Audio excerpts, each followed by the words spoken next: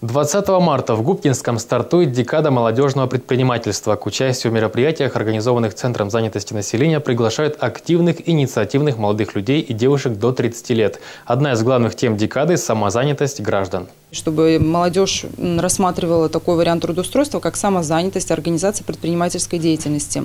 А в рамках данной декады у нас состоятся тренинги, классные часы, а, профориентационные мероприятия, встречи с предпринимателями, наиболее успешными нашего города. Программа мероприятий декады молодежного предпринимательства будет размещена на сайте городской службы занятости и опубликована в городских СМИ.